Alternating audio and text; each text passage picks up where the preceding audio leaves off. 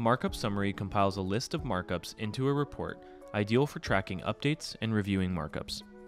For example, if you're coordinating a renovation of an office floor plan and need to share a report with your project partners, you can create a summary.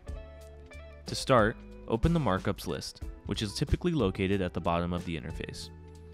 Before running the report, keep in mind that summary will reflect any filters that have been applied to the markups list. Click the summary icon and you'll see several export formats. For example, select PDF summary. Most users export summaries for all pages, but you can select a specific page range and add more files if needed. In the Output tab, choose the export file location and desired visual properties to include. Each format has unique settings. For PDFs, you can attach a hyperlinked report to the end of your set of drawings and apply a custom template. For example, let's select Append and Hyperlink here.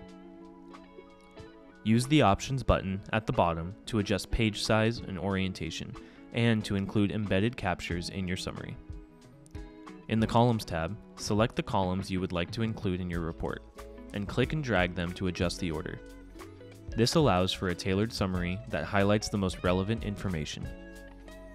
In the Filter and Sort tab, use the drop-down menus to filter markups by various parameters, such as including or excluding certain subjects.